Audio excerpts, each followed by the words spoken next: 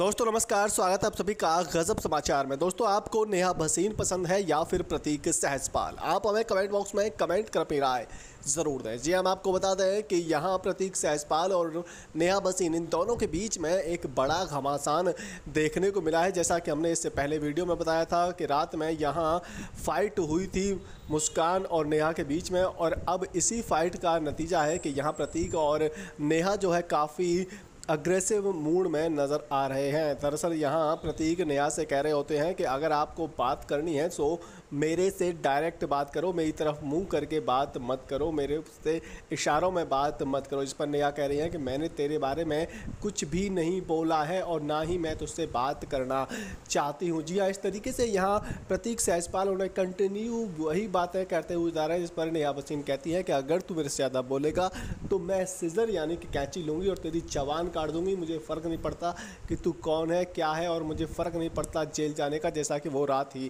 कह चुकी हैं। जी हाँ तो इस तरीके से यहाँ नया वसीम ने दे दी है ये बड़ी वार्निंग प्रतीक सहजपाल को कि, अगर तू मेरे साथ झगड़ा करेगा तो मुझे फ़र्क नहीं पड़ेगा, मैं तुझे काट पीट भी सकती हूँ और चाटा तो मैं लगा ही सकती हूँ। जी हाँ तो इस तरीके का है ये वाक्य। दोस्तों, इस पर आपकी क्या है राय, आपके क्या है विचार, आप हमें कमेंट बॉक्स में कमेंट कर अपनी राय ज़रूर दें। साथ ही अगर आपको हमारे द्वारा दी गई जानकारी अच्छी लगी है तो इस वीडियो को लाइक करना तो बिल्कुल भी ना भूलें।